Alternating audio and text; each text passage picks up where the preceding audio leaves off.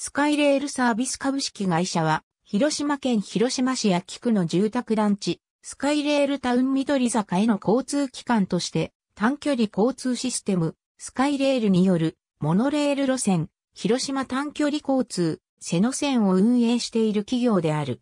本社は、緑口駅構内に所在する。住宅地、スカイレールタウン緑坂の開発を行う、積水ハウス、青木アスナロ建設、及びスカイレールを開発した神戸製鋼所、三菱重工業などの出資で1994年に設立された。スカイレール車両スカイレールとは、ロープウェイのゴンドラのような形をした懸垂式モノレール車両を駅間ではワイヤロープで駅構内ではリニアモーターを用いて駆動する方式の交通システムで懸垂式モノレールとロープウェイを組み合わせたようなものである。ロープ駆動式短距離交通システム、ロープ駆動懸垂式短距離少量輸送機動システムとも呼ばれる。神戸製鋼所、三菱重工業などが共同で開発した。車体の指示、案内を桁構造と車輪で行っているため強風に強く、ロープウェイやゴンドラリフトなどといった従来の急勾配向けの交通システムの弱点を克服している。運行速度は時速 18km 時速 25km。乗用平均加速度時速 2.5km S 乗用平均減速度時速 3.5km S の性能を持ち263パーミルの急勾配。半径30メートルの急カーブにも対応できる。走行性がある。スカイレールタウン緑坂のような丘陵地の上に作られた住宅地と最寄りの駅を結ぶ。短距離の交通機関などに向いている。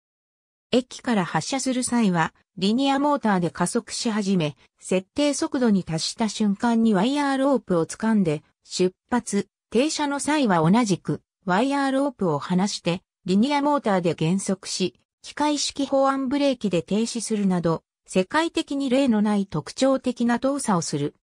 緑口駅の窓口にて、会社や路線、車両、システム等の解説が載っている公式パンフレット、新世紀に向けて今発信。スカイレール緑坂線を1000円で販売している。運行形態、運賃などは上記の項目を参照。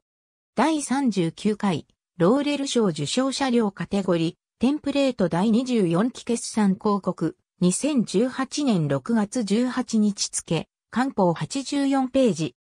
ABC 鉄道統計年報平成29年度版国土交通省 AB スカイレールサービス株式会社第27期決算広告国土交通省鉄道局監修鉄道要覧令和元年度版電気車研究会鉄道図書館公開日本鉄道技術協会20年後の鉄道システム日本鉄道技術協会2008年142ページ。